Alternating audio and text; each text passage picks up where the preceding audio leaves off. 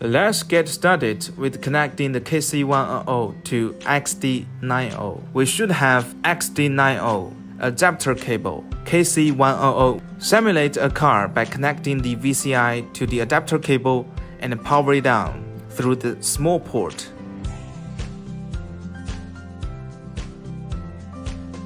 Type A end to KC100 cable.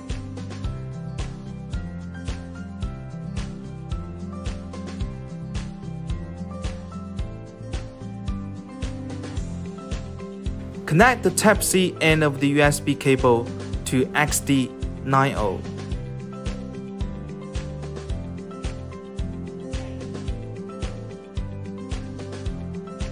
Attach the Type-B end of KC100 cable to KC100. Place the car key in the KC100 On the XT90, go to Special Function and select Key Programming. Follow the on-screen instructions.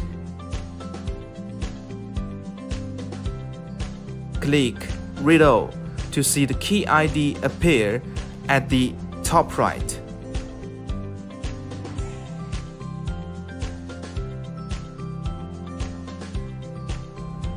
Is that easy? Get your XT90 and follow along.